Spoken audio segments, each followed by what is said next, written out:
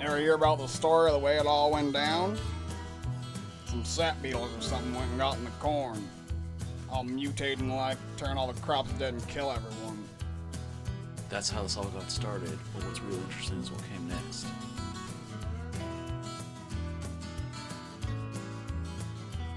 The four moonshiners of the apocalypse, depending on if you believe the stories. Oh yeah? I love this one. Tell how it goes and how I kicked their butt.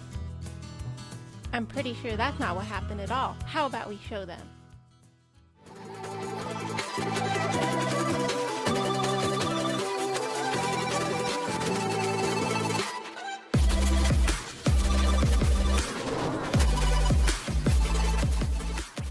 Hey guys, and welcome back to another Unfiltered Gamer Kickstarter board game review. Today's game up on the tabletop is called Moonshiners of the Apocalypse. It's made by Too Fat to Fly Games, and it's for ages 14 and up two to four players, and about an hour to two hours to play, depending on the number of players in the game. In the game Moonshiners of the Apocalypse, you're going to be playing as a moonshiner, those who make liquor, uh, during a post-apocalyptic uh, era in which the landscape has been decimated. You're going to head up to a town called Shantytown that is controlled by this kind of older curmudgeon guy who is willing to trade with you and whatnot, along with a bunch of drunkards, because what do you do during an apocalypse? You drink a lot. And so you're basically trying to make liquor. And unfortunately, you want to have those drunkards that are wandering around actually go onto your side and become citizens. But every round it gets more and more and more difficult because more and more people are drinking because you're making a lot of liquor. So using Moonshiners of the Apocalypse is going to be basically a game in which you're going to be doing some um, area control management, a little bit of building and a kingdom building design, as well as controlling your own character, and they all have their own unique bios, as well as the actions you can take on a turn. You can scavenge for resources, you can trade, you can go ahead and build buildings, and you can do a couple other things like moving on to different landscapes and whatnot. Uh, you're also able to drink liquor, of course, and that will help you along on your cause. And at the end of the game, if you have successfully gotten enough gold, you're going to be the winner. All right, let's go ahead and check it out. So here we have Moonshiners of the Apocalypse and everything that's coming into the game. This is a very large game, so we're going to start with this stuff over here. Firstly, you're going to be getting all different types of player pieces. You're going to be playing as either green, orange, white, or red, and each of these guys are going to have their own buildings for building locations on the board, as well as action tokens, and of course the trackers indicated on their scoreboards. Uh, you'll have that for every single player, as well as a big learn to play rulebook. You're also going to get tiles that are going to have different things on them, like workshops, saloons, cornfields, stills, etc., etc. Where as you move around the boards, and you start on the outskirts, you're going to be discovering new tiles, and of course you can go ahead and build things on there, and of course then make liquor.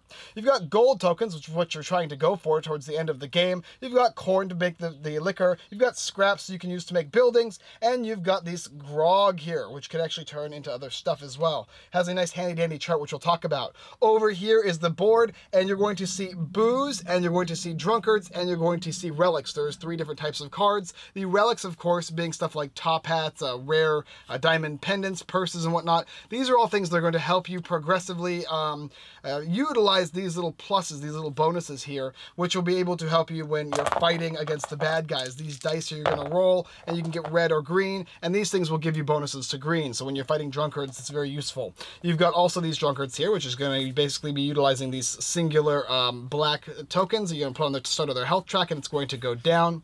Uh, they have their own little bio, of course, and their health. And if you can defeat them, you're going to get different resources. The harder the uh, drunkard, the more difficult the drunkard, the more likely you're going to get scraps and whatnot. But you'll also be getting meeples, like these guys here, which you'll be placing on your buildings throughout the game. Finally, these are booze cards, and these ones here you're going to be uh, using. These will give you. Oh, sorry, relics will give you bonuses to your uh, your scraps. So the, for each one relic, you get two scraps. For this one here, the booze, this is the where you get bonuses to your rolling when you're fighting against drunkards. It's basically who can ever outdrink the other person.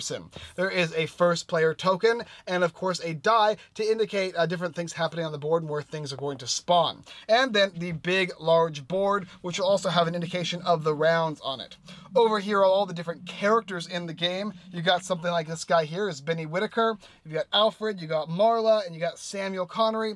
They all have their own unique bios, and of course their liquor tracker. They've got their stamina and their uh, inebriation, and if these guys ever hit, you're going to basically black out. These are all the different action actions you can take and how many times you can take them throughout a round.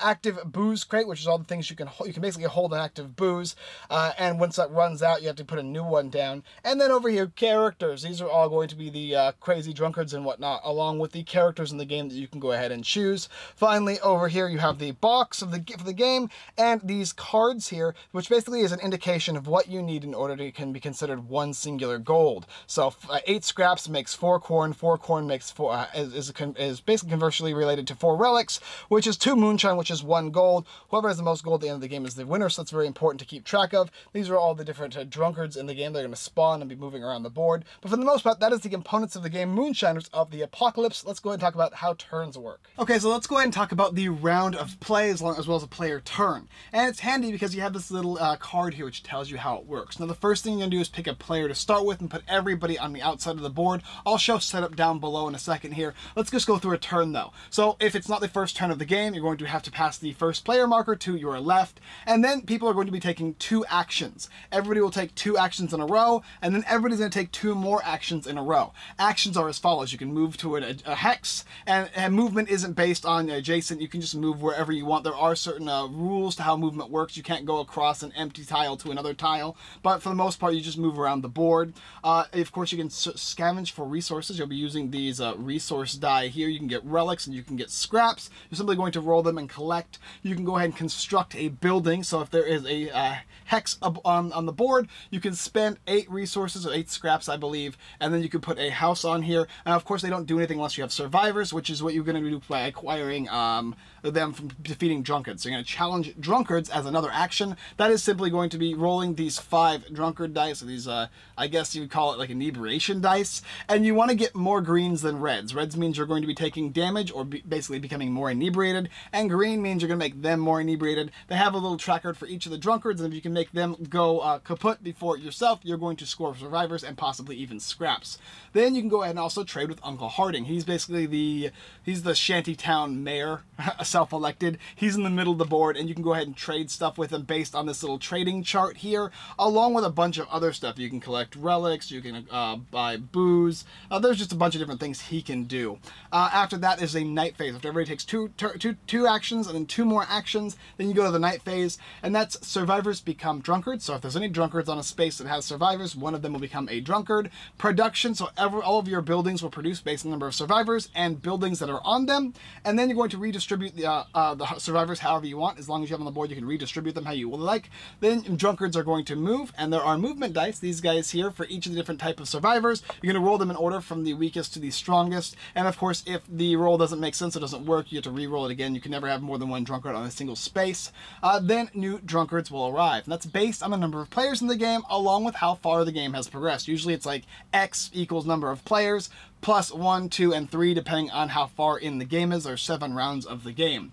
Then you're going to advance the hot air balloon token across the uh, from, from one space to the next, from 7 to 6, 6 to 5, so on and so forth, take it to the last round in which no more drunkards will spawn at that time, and that's one more round of play. Whoever has the most gold at the end of the game is the winner, these little gold tokens here, and that is the basic idea. Let me show you a setup of the game, as well as a couple turns, uh, showing you basically what the actions you can do and all that kind of stuff, because there's a lot going on. It'll take a while to show a round of play, so I'll just show you the basics that you need to know how to play the game Moonshiners of the Apocalypse. So here we have a fully set up game for the game Moonshiners of the Apocalypse. I went ahead and set up for two players just you get a good idea what the board's going to look like. Have your three decks of cards over here shuffled and put into the three separate areas. It tells you exactly where they need to go. Make sure your turn tracker is on seven. This is supposed to be a hot air balloon, but I can't seem to find it. So we're just going to use this tracker. Every round is just going to go down to the last round.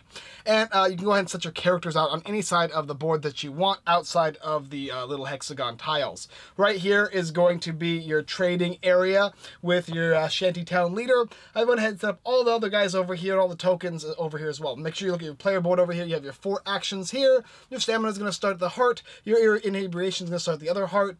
And you're also going to have your uh, drinking track right here. Just set that there. Whenever you put a card down on the boozy area, you go ahead and move it based on the um, the amount it has on it. Okay, and then of course your die, which is going to be used to spawn things. So let's go ahead and begin and explain. Now the first thing you're going to want to do is uh, pass the player marker if it's not the first turn, which it is the first turn. So just going to go ahead and give this to Samuel Connery over here. Also note they each have their own special ability. This guy here gets to um, multiply the die roll of the lowest uh, scrap roll. So this shows you the different, here, this is scrap times two, the lowest die roll. And then over here, this guy, whenever he flips over a tile, he's going to get plus two scrap in general, you're going to get a relic when you flip over a tile. So then we're going to go ahead and take actions. He can go ahead and start first. He can take his actions. And the first thing he might want to do is go ahead and uh, move and flip a tile over. He can go ahead and move and pick any of these tiles here and flip it over. Take this guy. Then he'll flip over this tile here. This is a still, and of course it has a one and two level. On the first level, guys can get scraps if there's a house here, depending on the number of survivors. And then on the second level, for a corn spent for each survivor, you can go ahead and get grog. He'll move here. Whenever you flip over a tile, you're going to be getting a relic here. So this guy will get that. And of course, relics are going to give you the ability to get scraps. So whenever you trade them in to this guy here, it's going to be two times the number of um, the number over here. So in this case, you get four scraps, which is half of what you need for for a house. That's pretty useful. These are to remain secret or hidden. That's one action. He gets to take another action. Maybe he'll choose to use his scavenging action, which means he's going to roll all these scavenging dice. It doesn't matter where you roll. Um, you're just going to go ahead and take these dice and roll them up. And bam, here we go. So we have two, four, that's a great roll. Seven scrap and two relics. So we're going to go ahead and take our, our scrap here. We got four, two, and a one, that's seven scrap. And then of course, two relic cards. So let's go ahead and take these guys here, and that's gonna give him additional stuff. There's uh, basically two scraps for each of these guys. Uh, that's his two actions. After he's done his two actions, he's gonna go ahead and pass, and the next player is going to get to go as well. Uh, this player is probably also going to move, so we'll just go ahead and move this guy into here. Flip over this. It's a saloon. Saloons are great because they're going to give you scrap for each person there. At the second level, they're going to give you grog, depending on the number of uh, meeples you have. Up to four, of course, that's the max. Uh, four meeples, if you trade in one grog, you can get three gold. Pretty useful. Don't forget to draw that relic card. Uh, after that, then he's going to take another action. What does he want to do? Now, normally, there's the actions to build, of course, and there is to fight the drunkards or out drink the drunkards. But currently, currently there's no drunkards on the board, so maybe another option would be pretty simple, yet again, to go ahead and take a scavenging roll. Oh, not the drunkard dice. Take these guys here and roll them, and then he's going to uh, add the total up. Of course, nah, no good. Um, and, and, and he'll take whatever is needed. Also, don't forget too, he did flip over a tile, so that is going to also net him two scraps just for doing that. That's his special ability. And then he would take two more actions as well. He would take two more actions as well. And it's going to be based on the numbers of actions. So you can only scavenge once per round. You can only move three times. You can trade twice, or you could uh, build four times, or you could fight twice. So remember, you can't have you can't scavenge more than once. So let's say he went ahead and moved two more times. So we'll just go ahead and open the board up here uh, just just because, right? So we're just moving the game along to show you what happens after this. And this guy also went ahead and uh, moved two more times. And let's open the board up a little more. Bam, like that. And like that. Okay, so he went back, he moved, then he went back and he moved. And then we're going to go on to the next stage, which is going to be survivor, uh, survivors become drunkards. So if there's any survivors on the board and there are drunkards on the board, then those guys will turn into drunkards as well. So in this case, if there's two guys here and of course a, a house, then then uh, one of these guys would go and another drunkard would spawn. If that's not the case, like the first round here, then nothing is going to spawn. After that, the production phase, so everything that has houses and meeples on it is going to spawn based on the production rates that entail on the cards. Redistribution of survivors, so if there's multiple survivors on one area, you can move them from one to another to, to uh, so that you actually have houses on them already. You can't simply move them on locations that are empty. After you do that, the um, the drunkards are going to move. If they can, you'll be taking these die here. And uh, in order from weakest to strongest, there's crazy, sad, and angry drunks. And those guys are going to move based on these die. It's pretty simple how they work. Northwest, northwest, north, southwest, so on and so forth. There's all six of the different directions here. And then you're going to spawn drunkards. And you're simply going to do that by um, taking this die here, right, and rolling it along with picking a drunkard up. And it's going to be uh, based on the number of players uh, for these rounds here. And then the next one's plus plus one and then plus two. Uh, so this guy here is Conan the Librarian. He's a big scary guy. Take this, and this says one, so you're going to look at the board here and find number one, and just place the guy there. And then we're going to get another guy out. Uh, this is the Foul Mouth Bishop. He's also got one, and if that happens, they are simply on the same space. They can't do that, so you have to re-roll it. Three, that'll work. And let's see, where's three? Right here. Perfect. He's done. Whenever you spawn these guys here, you're also going to want to make sure you keep track of their health. Simply put the uh, black markers on the highest point of health for them. And after the spawning of the drunkards is done, advance the air balloon token to the next round. You'd simply go ahead and do this, and players would continue again. So now you understand the basics of the game. Let's talk about how you're going to go through building. So if, let's say this guy wanted to trade for his next round, so he could trade all of these things here, and that's going to net him eight scraps. So his next action would be to uh, trade goes there. As long as he has got an adjacent spot to get to here, he can do that. Uh, he can get rid of all these guys here, and that will net him his scraps that he needs. And there we go, just like that. And on his next action, he can get rid of the eight scraps, and he can uh, build a building uh, that he wants to be on. Uh, then be this one right here. Uh, he can also choose to, if he wanted to, be able to fight a bad guy. Now, he, he can actually, um, he, he can't be on the same space as these guys. You just have to be adjacent to do so. And you're simply going to roll dice. So we'll take these five dice here, and you're going to simply roll them. And then, so this red means damage to yourself. Green means you're damaging them. So if he was fighting this green guy here, he would take one damage, and you would take one, two, three, and four. And of course, to attack, you have to spend your stamina from one to three to six to ten. Um, and then to continue fighting, which is of course probably what he'll want to do, he'll need to go ahead and do it again. He'll move his stamina down. He'll roll these dice here, and then he's got three more reds, one, two, and three. And then he's got two of these uh, greens, that's one and two.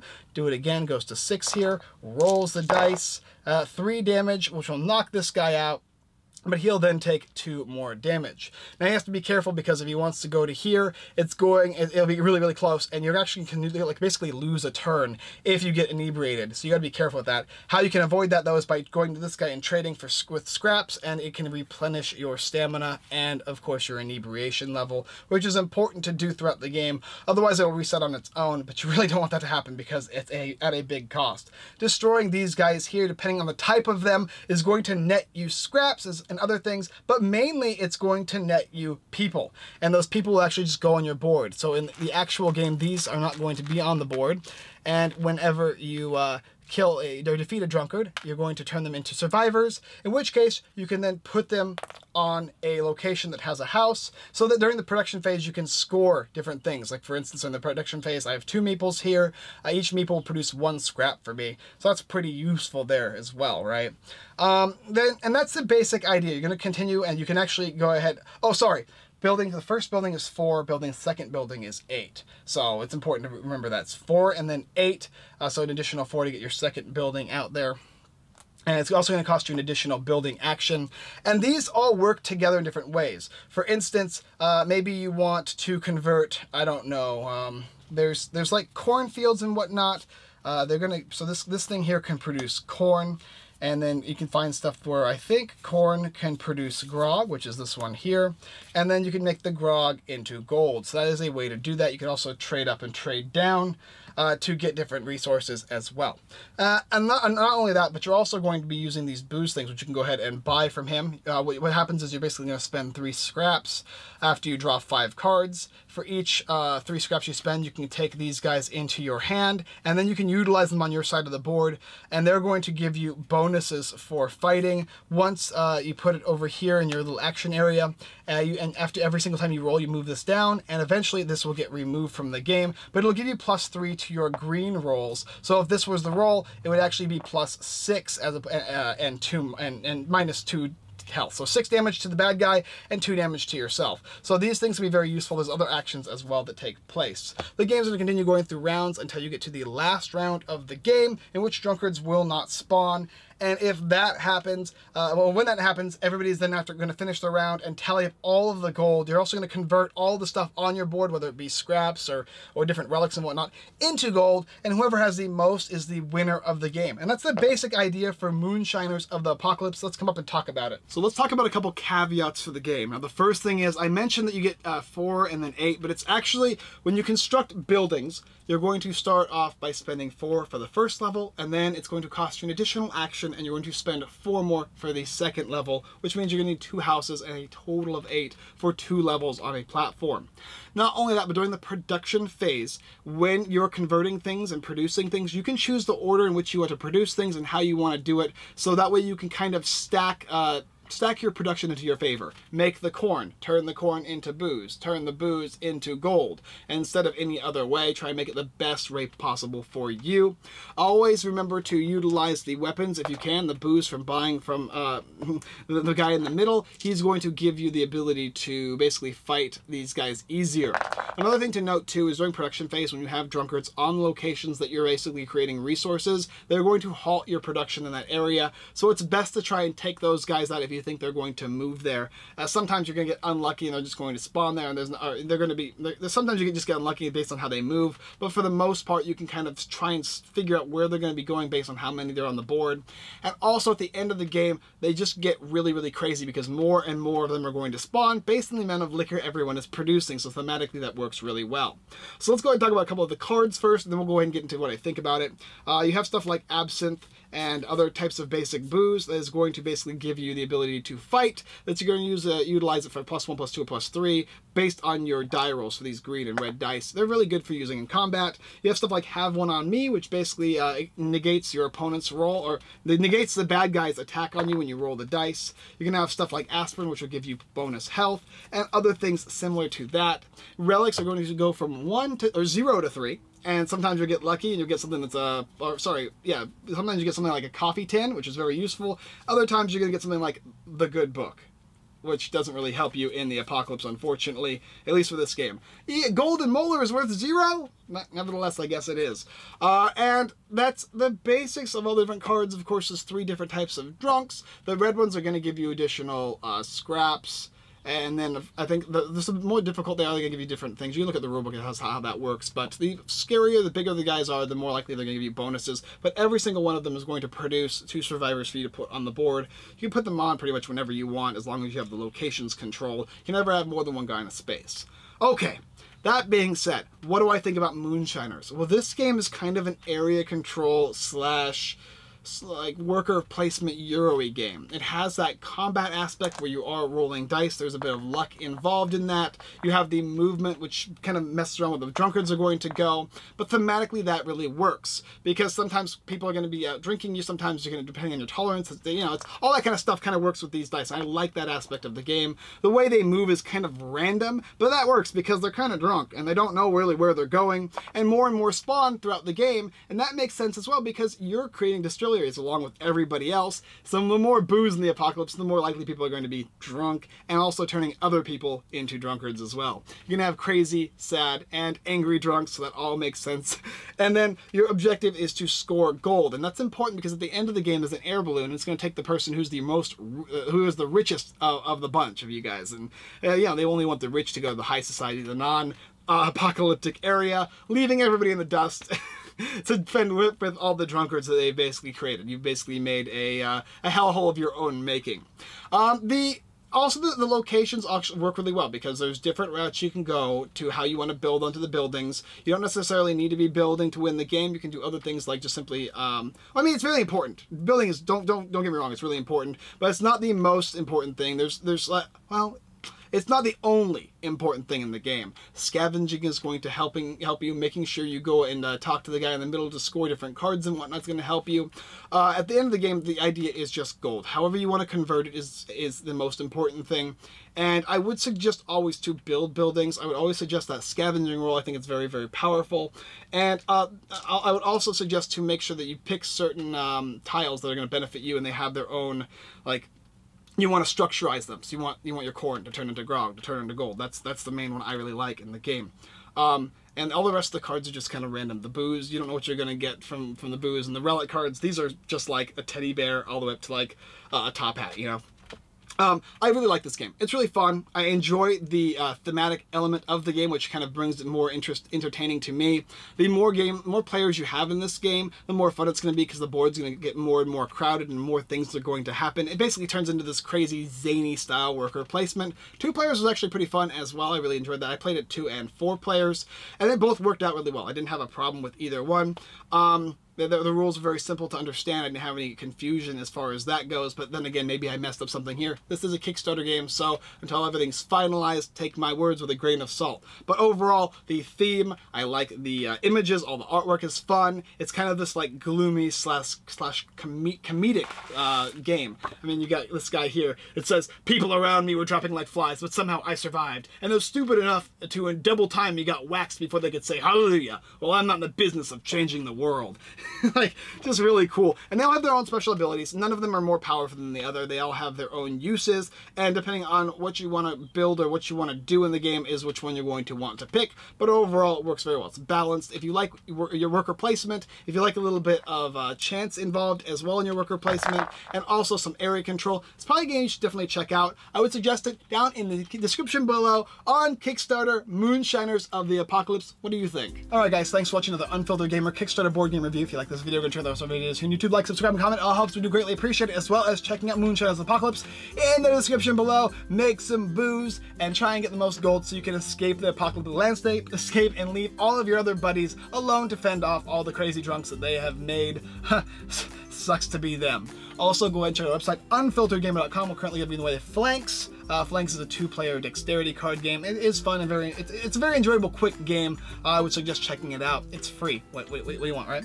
Uh, as well as checking out everythingboardgames.com and the Giveaway Geek, two great sites that can do a lot of giveaways as well. All right, guys, that's all I got for this time. And as always, I love you. I love you so much. Go ahead and build me some, uh, some moonshine, some grog. I'd appreciate that. I'll see you next time.